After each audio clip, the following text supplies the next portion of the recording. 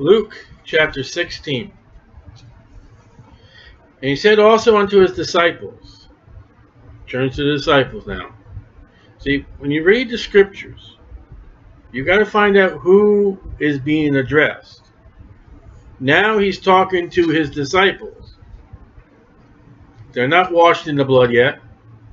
They're going by works. You know what their salvation is? They've been following Jesus for three years now, three and a half years. They've been doing everything that he's told them to do.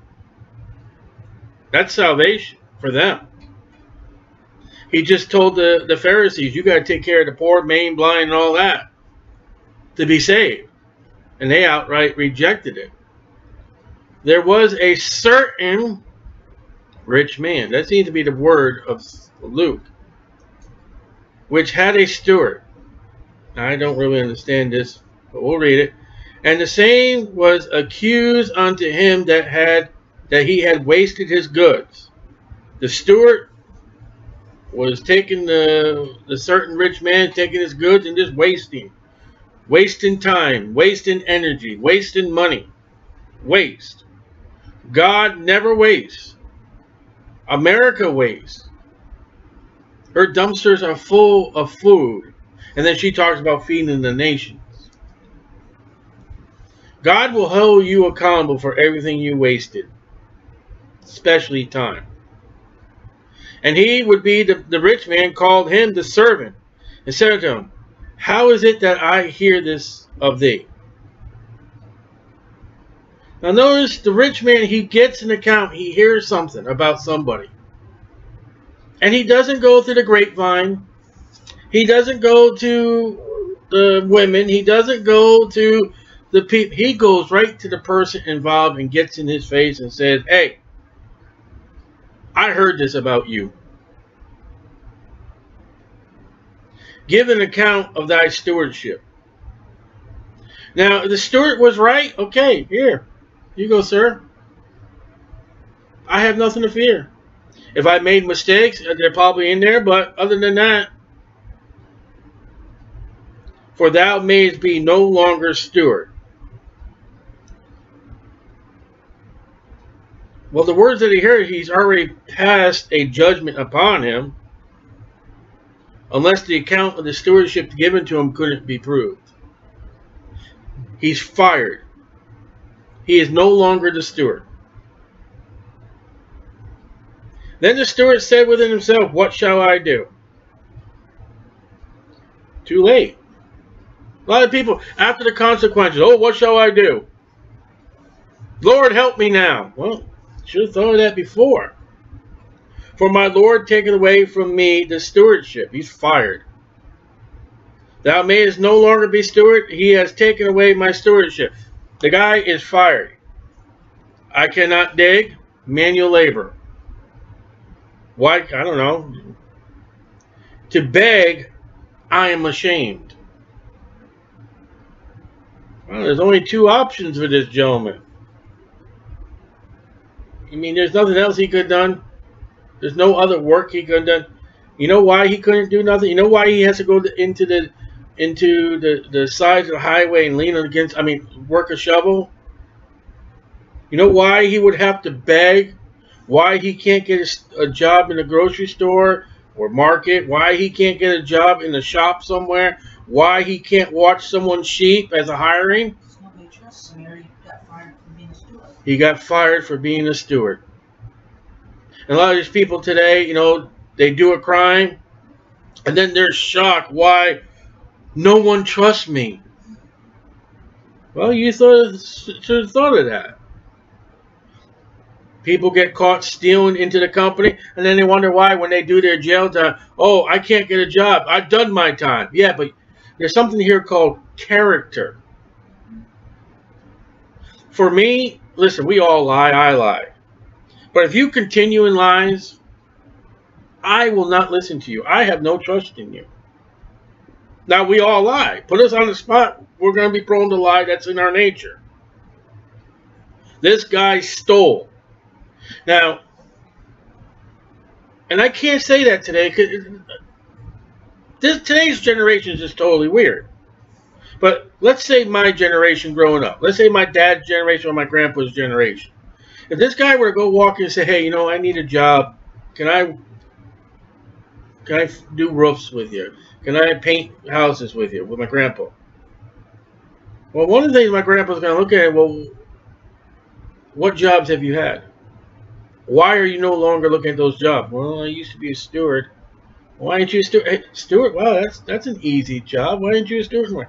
It was. Oh, it was. Hmm, I wasted. I stole. You ain't gonna get a job. So this guy has to get a job today. You know one of those jobs in the Bible speaks about digging? No. Well, yeah, graves. How about dung? That's one of the things, shoveling dung. I am resolved what to do. I am resolved no longer to linger. That when I am put out of stewardship, he's already fired. He hasn't packed his bags, got his boxes, desk stuff yet. They may receive me into their houses. Who? He has no he has nowhere to go now. Even amongst a Jewish family, a thief, you ain't coming in our house. Who would want this guy to live in their house with them? I know somebody just had a thing. He, had a roommate, and while he went to work, his roommate took everything, including the important papers. Well, you gonna if you find out that that guy did those kind, would you have him as your roommate? No. See what you got to realize. There's one thing on this unjust steward is you got to realize he has ruined not only his reputation, but he has ruined his character. He will have to do much more to retain that charactership than he has done with his wasting. He has to go above and beyond credibility, and even still, he will have the shadow of this wasting of losing his job that will tie to him forever. And people, once you're in prison,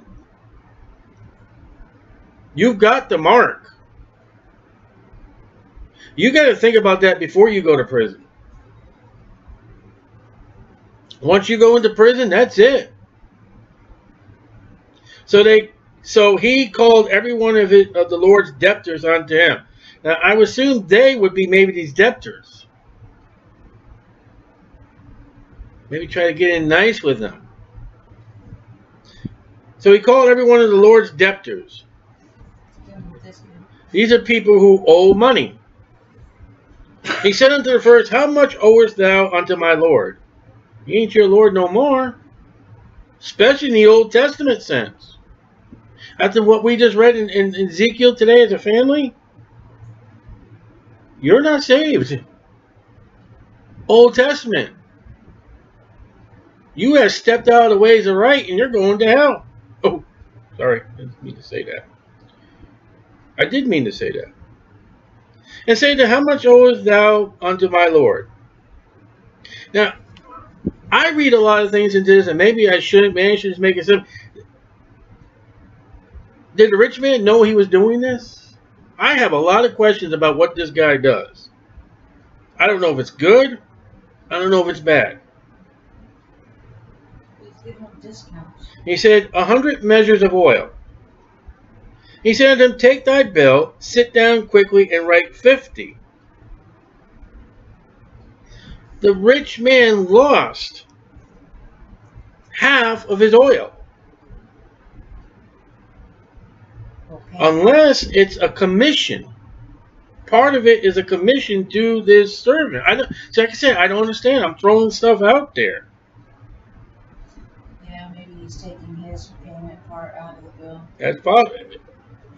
Fifty percent of the oil is his commission. That's a lot. Well, if he's swindling people. Yeah. So see, what I mean, it, you can read so much. He might have charged them double, and that's what the Lord found out. But see, there's so much you can read into it. Then said he to another, not just once, but twice. And how much owest thou? And he said, A hundred measures of wheat. And he said unto him, Take thy bill and write four score. That's eighty.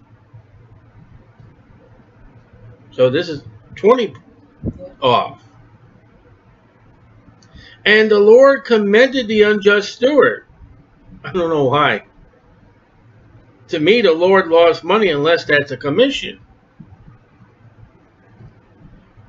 Because he had done wisely. I don't understand what's wise. For the children of this world are in their generation wiser than the children of light. I think, like I said, I think the Lord found out he was overcharging these people. But the children of this generation are are wiser than the children of light. John 12, 38, Ephesians 5, 8. And I have a question mark by this. I say unto you, make to yourselves friends of mammon of unrighteousness, that when ye fail, they may receive you into everlasting habitations. I have no idea what to do with that verse.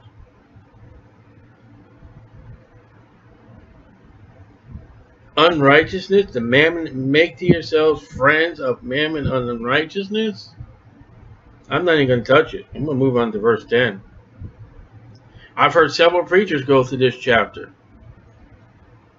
I wanted to, this chapter was just over right over passed by. Went right to verse 19. It's like, oh, good, here we go. And it was skipped. He that is faithful in that which is least is faithful also in much. And he that is unjust in least is unjust also in much. I can understand that one. It, listen, if God has given you one talent, and you take that talent and you take it to the world, let's say you can sing. You come out of a Baptist church and now you're the top of the charts. Top 10. Casey Kasem this singer and her lovely, dovely, worldly music. God ain't going to give you nothing else for him.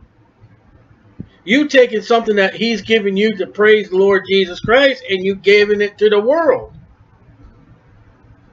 Why would you end up that person such a terrible death? Because you had no life. You lived in the world.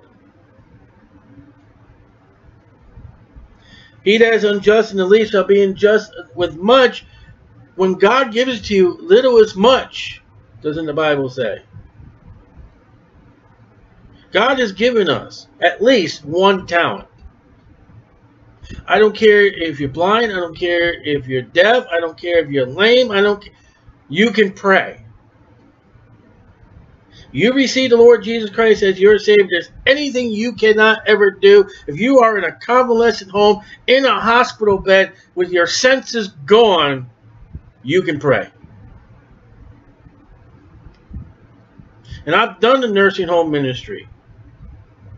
And when you go there say, Brother, we prayed for you all week. And then you look back, wow, okay, that's how that week went by quick. That's how that week. So that's all you can do you did your favor. You done your one talent. You're in prison. I've been in the prison ministry. You can go tell people who I will never meet about Jesus Christ. You can sit down and read a Bible to them. Are you faithful in just what God's given? You be faithful in that, He'll move you. One day I started a prison ministry. Well, I, I was, was, already there, but the Lord opened the door for me. One time I said, you know what? I'm just going to hold a sign for Jesus Christ. I'm going to take my children. We're going to go hold a sign for Jesus Christ. I'm going to open up my big fat mouth and preach on the street for Jesus Christ. And you realize what God said, listen, that mouth, I've given you a great, harsh voice that people complain about. You use it for me. And when I go on the computer and look to where all these messages, I am all over the world. God gave me a little thing and I gave it to him, and now it's worldwide. I pray to be a pastor. I'm in a position greater than a pastor because I've not only become an evangelist, but I've become a missionary thanks to the internet.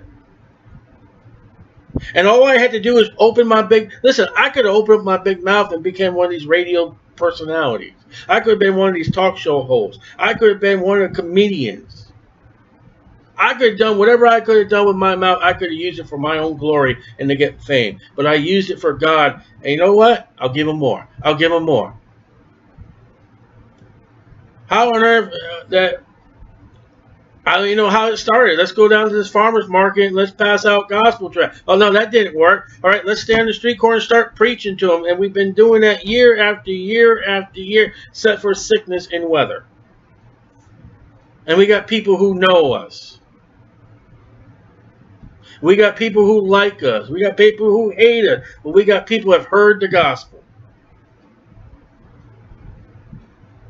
Who knows what the Lord will do tomorrow? Who knows what the Lord will do next month? Who knows what the Lord will do next year if I keep on doing? But that moment when I take what I am faithful in for God and I turn it into unfaithfulness or waste, then I'm bound for a fall and lose my stewardship. I am a steward right now of the Word of God. I need to be faithful to it. I need not to waste it. Whatever God has given you, a steward, voice, singing, instrument, whatever it is, be faithful and do not waste it. Like this servant.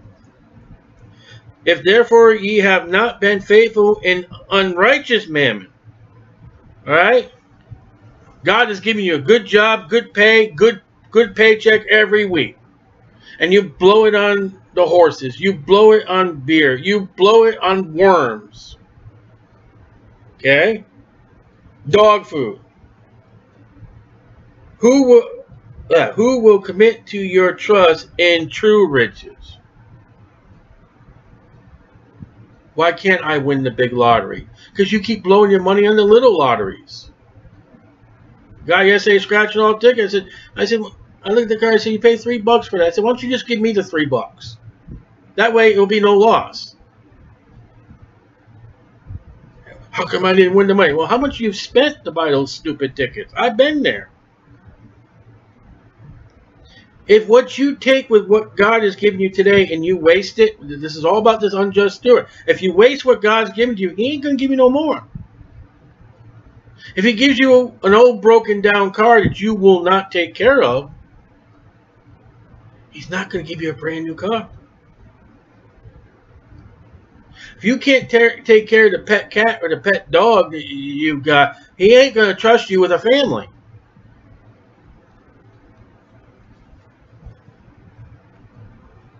And if ye have not been faithful in that which is another man's, who shall give you that which is your own? Oh, I like to have my own business. And yet you spend all the time at the water cooler, you're fooling around, you're wasting your employer, just like this unsteward steward. This unjust steward is never going to get into the, the rich man's status and have his own stewards. No servant can serve two masters. Uh-oh. For either he will hate the one and love the other, or else he will hold to the one and despise the other. And this verse did not go further. You cannot serve God and mammon. You can't have the world and have God all in one shoe. You got to have two shoes. And you got to choose. Is it going to be God or is it going to be man? We spoke about this the other night. The, the tape was shut off because of a cord. You guys say right now, am I going to go the God route with Jesus Christ, suffer persecution, or am I just going to go the CEO route and get worldly suffrage, and you're going to suffer no matter what. But you climb the ladder of God, you'll get crowns, rewards. You you climb the ladder of CEO, you're going to die. You're going to end up like the rich man. You're going to have nothing but an empty storage center where people just love to be at your will. And yet, if you serve God, He knows your needs and He will provide your needs, not your wants. And if you serve God right, if God says that you have a need for a car, he'll provide you a car. It won't be a Cadillac or whatever car they, Lexus, I think today, the car they want. Okay? If you need a place to live, well, God will provide that need for live. It may not be a penthouse. You may not eat steak or pork every day. Food is a need. When you come to that, you need to study the life of Paul. God provided all his needs.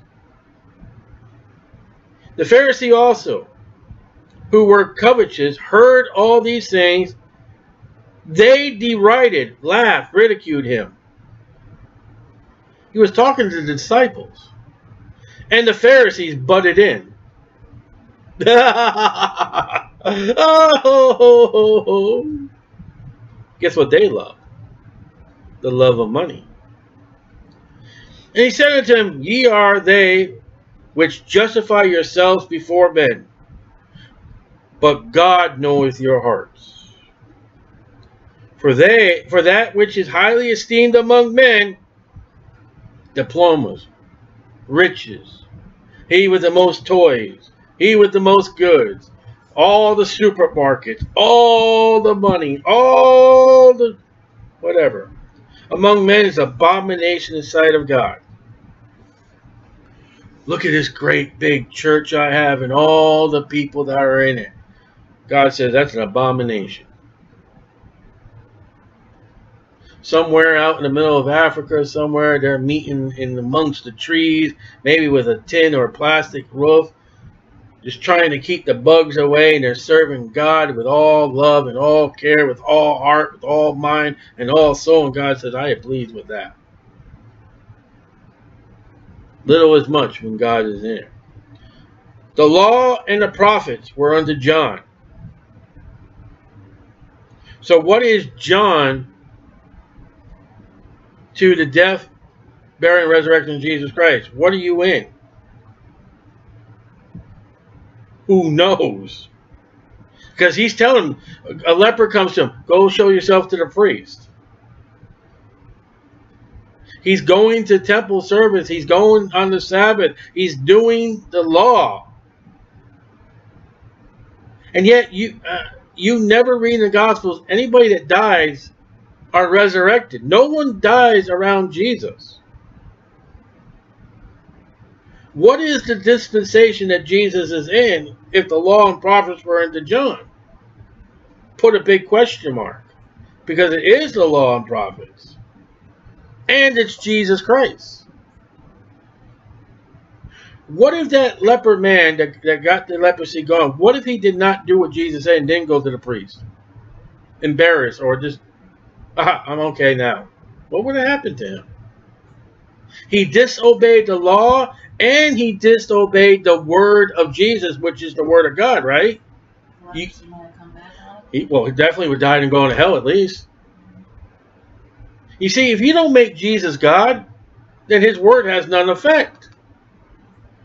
But even the devils are saying, hey, man, don't persecute us now. You're going to, but not now. Since the time the kingdom of God is preached and every man presses into, everybody wants to go in the kingdom of God. Even the Pharisees. But they just don't want to do the Jesus word route. We got our own way, thank you very much. And when we set up that kingdom, we're going to be in charge, not God.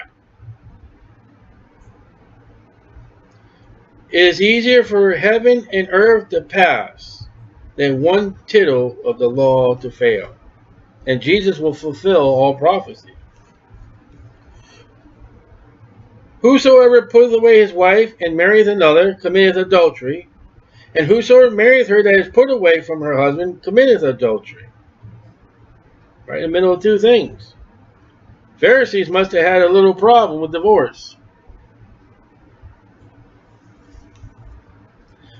There was a certain, there's that word again. 16 started off with a certain rich man. In the middle of this chapter, a certain rich man was clothed in purple and fine linen and fared sumptuously every this guy is rich. He had the clothes of being rich. There was a certain beggar named Lazarus. This is definitely not a parable. Which was laid at his gate, the rich man's gate, full of swords and desiring to be fed with the crumbs which fell from the rich man's table, laid at the gate in the rich man's table, he's, he's the garbage cans. Or the way they did things back then was, you know, they just throw it out the window and wash it down the, the driveway or the walkway. More of the dogs came and licked his sores. Now, you can't read that as lasting. You know what these dogs were doing? They were cleaning the garbage that the rich man was throwing out in the streets. They were savages. There's another word I'm trying to think. I can't think of the word. The dogs were left to clean the streets of all the bones, all the, the junk that you threw out. Meanwhile, while these dogs are fighting with the with the beggar to get food, the dogs are eating the beggar's food. The, the beggar's trying to eat the dog's food. They are licking his sores. Dogs are unclean to Jewish people. These scavengers, out for themselves, being dogs that they are, dog eat dog, trying to take this man's food or having more compassion on him than a rich man. That unclean, filthy dog, have you ever seen what dogs do? Is at least they're licking this man's sores while they're trying to fight for that crumb. And dogs will do this in major cities throughout America. They'll live in alleyways and pick garbage with the alley cats. And they're probably homeless people who have to fight the dogs and the alley cats to get some food. I guarantee that happens. It's happening now. It will happen tonight. It will happen tomorrow as long as the Lord tarries. There is a beggar and animals fighting for food in the dumpster. And no one cares about either or. And that beggar may have, you know, not Jewish. He doesn't have an idea what the Bible. Maybe he made some of these dogs his friend. Maybe he'll take some something he finds and feed the dog from it. But in the Jewish times, these dogs are unclean, and yet they're giving Lazarus a lick in the face, a lick on the sore. Even the Samaritan took care of the wounds of the guy that was among thieves. The priest and the Levite just walked away. That half-breed Samaritan did what he should have done, everything that he could have done for that man. And here's his dead dog, what they call Jesus. This is what Jesus called a Gentile woman, a dog. You remember? You remember what that illustration was, Lord? The table.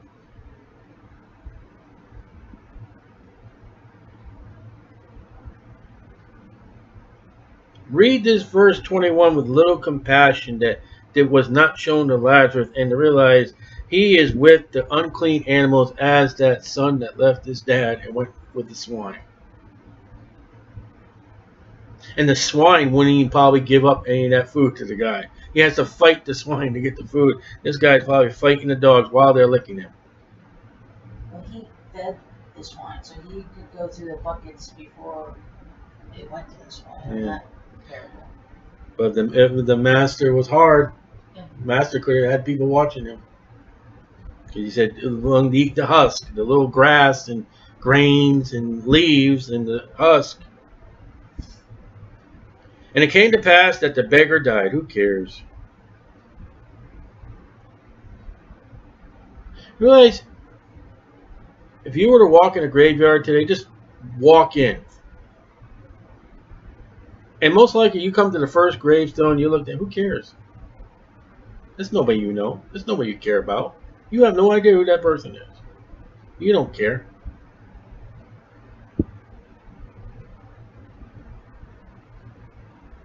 The beggar died and was carried by angels into Abraham's bosom. How do you know that's not today? How can you truthfully, honestly say that angels don't carry us to God? What did Paul say? When we die, what happens when we die? We're absent from the body and present with the Lord. We don't look for angels. We have a microscopic second of passing from this earth to before God, Jesus Christ. No angels come for us.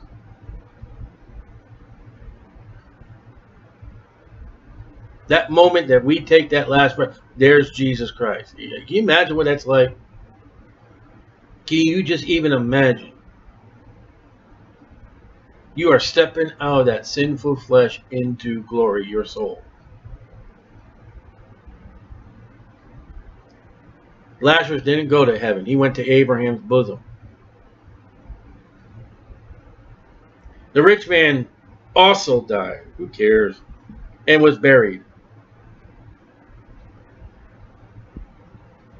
He was Jehovah Witness and in hell. There's a difference between the grave and hell. They buried the body and in hell. You don't dig a hole in a graveyard and see flames shooting out. But they don't believe hell is flames anyway. It's, it's just the state of death. And in hell, he lifted up his eyes. You have eyeballs in hell without tears. Because he's going to ask for a drop of water. He could at least got it from one of his tears. You will, uh, no pun or anything like that, you will have dry eyes in hell. Ever get a dry, itchy eye? Isn't that irritating? You'll get that in hell. No Vaseline or any eye drops. Being in torments, plural. I'm gonna break this. I'm gonna break this section down for the time we got. So you're not just torments, you're torments. Seeth Abraham afar off, so you see with your eyes. He knows who Abraham is. He knows who Lazarus is.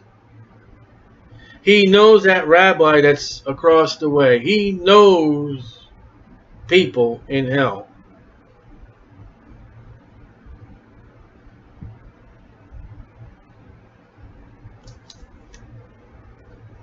And Lazarus in his bosom. He he knew who Lazarus was. Don't say when Lazarus sat at the gate that he had no idea who Lazarus was. He knew who Lazarus was. He cried, You speak in hell.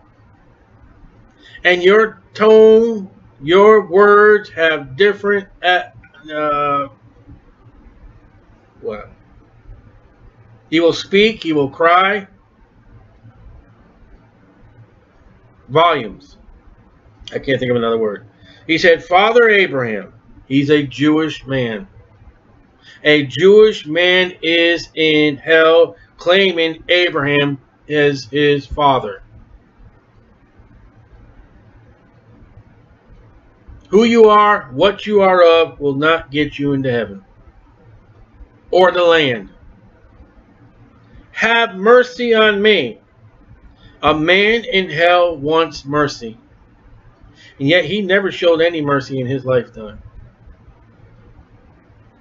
Be not deceived, God's not mocked. Whatsoever man soweth, that he shall also reap, even in hell. I don't know how many years Lazarus laid at his gate, but this guy is going to get no mercy for all eternity. That's a crop. That's a seed that produced many other seeds and fruits and send Lazarus that he may dip the tip of his finger. Lazarus has a finger in water. The rich man, I'm going to put it to today.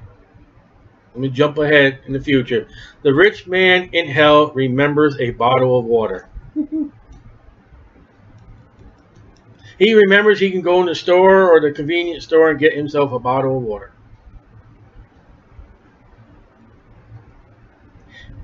But the tip of his finger and cool my tongue. He has a tongue.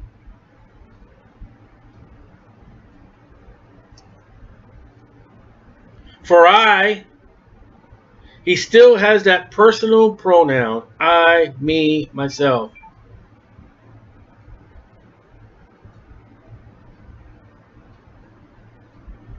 In hell, you don't forget about me, myself, and I. That doesn't go away.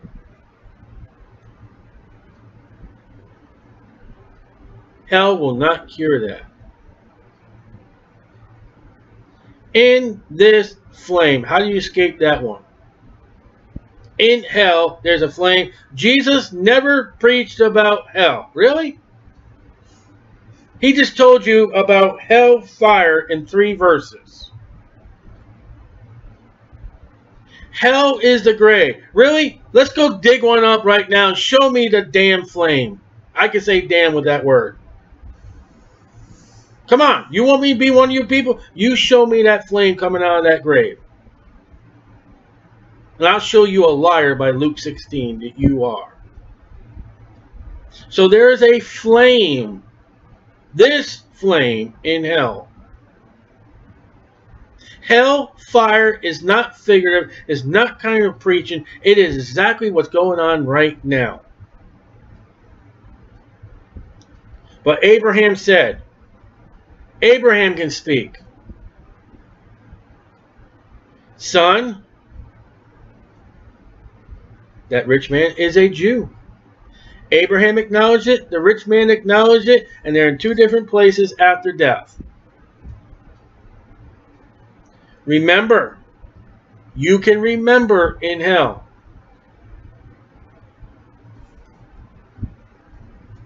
You know, it's much better in heaven than in this hell.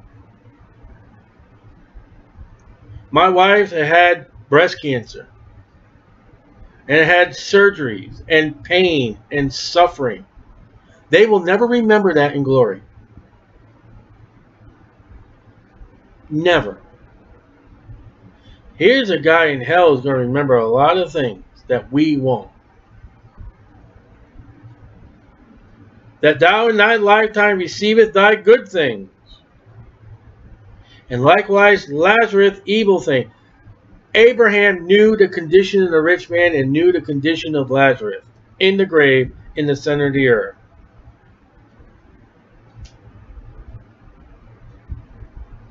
But now he is comforted on the side of the Lord. He's not in heaven yet. Jesus has not died, buried, and rose from the grave. But he's comforted. And thou art tormented, not torments only, tormented, past tense. Abraham could see that. The rich man says, I'm in torments, and Abraham says, You're tormented.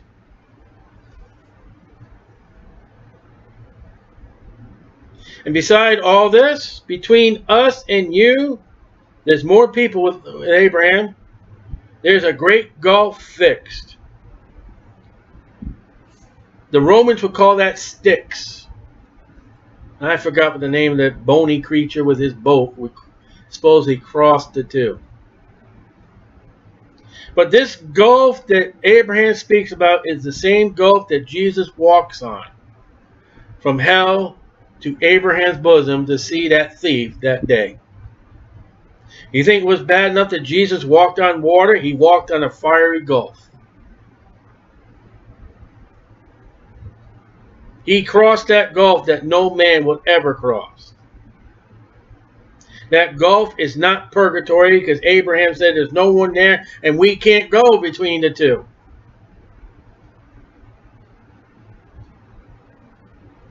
So that day which would pass from hence to you, everybody on my side cannot come to you. Neither can they pass to us. Anybody on your side can't come to us. Abraham ruled out purgatory. If you're over there, you can't come here. If you're here, you can't go there. That would come from thence. Look at the great lessons that occults will mess with, that you're dealing with. Then he said, This is the rich man. I pray. Too late. You pray in hell. You know, Judas prayed wrong. He went to the priest and prayed, I pray therefore, Father, that thou wouldst, Father, religious, that thou would send him, Lazarus, to my father's house. For I have five brethren. He remembers his five brethren. The rich man in hell, or anybody in hell, now wants a missionary.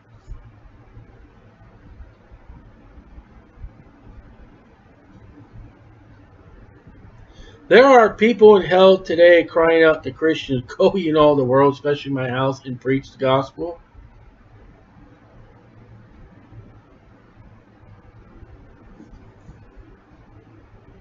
I've got lost family in the grave right now saying, you did a good job. Keep doing it.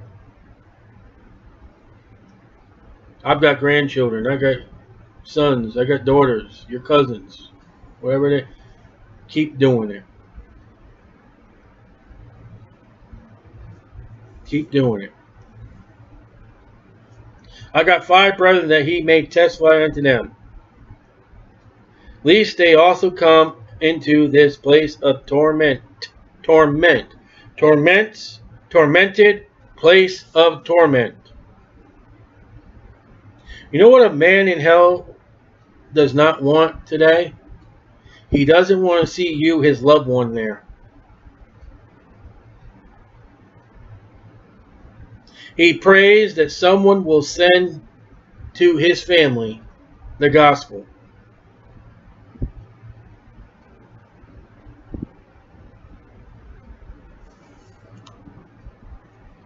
Abraham said unto him, that they have Moses and the prophet, the Old Testament. Let them hear them. Faith cometh by hearing, and hearing by the word of God, not television.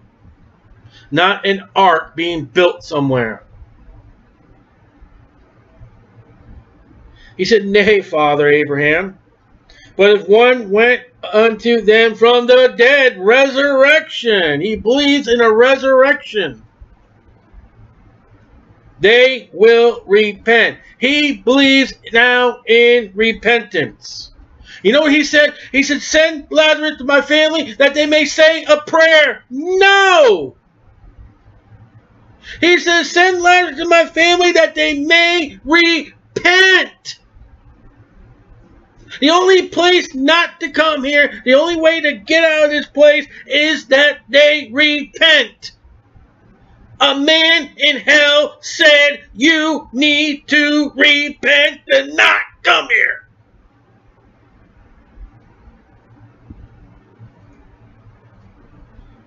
Most of your modern churches don't even believe a man in hell today. They don't even believe in hell. They don't it pass this off as a parable, and a man in hell says that you need to repent.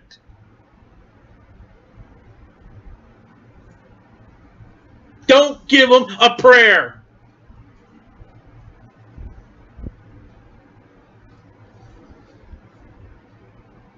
Also, just notice something else. Moses and the prophets were Moses and the prophets written when Abraham was alive? No. Moses came much later than Abraham. Uh, that's a little note just wanted to add there. I should have added it at the end. And he said to them, they, if they hear not Moses and the prophet. Now let's get this. Faith cometh by hearing, and hearing the word of God. If they will not hear Moses' prophets, neither will they be persuaded, though one rose from the dead. So if we give you peanut butter, we give you popcorn, we give you games, we give you prizes, we give you movies, we give you entertainment, you can't be saved according to Abraham and according to the rich man that's burning in hell. You've got to repent. Don't put no pony trick shows in there. Don't give us a resurrection of the dead. We've seen this vision. I've seen this tunnel at the. You've got to give them the W O R D S. If you ain't got the words, you didn't repent, you're not saved. You say you're getting a little excited. I am excited. Because I've dealt with many people who thought they're saved and they just said a prayer. I had a man tell me one time, well, my preacher said a prayer for me, and I couldn't do nothing with it. If you can't believe a man that's in hell, you ain't going to believe nothing. Well, I don't believe it so. Well, Jesus told us, if you got a red lettered Bible, this whole thing is red lettered. And if you're not going to believe what Jesus said, forget it. You got an eyewitness of somebody in hell by God who created hell and put this man in hell. You got Jesus' testimony of what he said. A conversation that went on in hell, Jesus recorded it for you. And that man in hell said there's only one way to be saved. you got to repent. And Jesus had not died yet, he had not been buried, and he had not risen from the dead, and the word still is repent. There are going to be people at the great white throne judgment going to be casting them. Lord, didn't we do this? Lord, didn't we say this prayer? And Jesus is going to say, You lacked repentance. I'll deal with that man. I'll deal with that preacher. I'll deal with that message. I'll deal with that evangelist. I'll deal with that missionary later. But you didn't repent.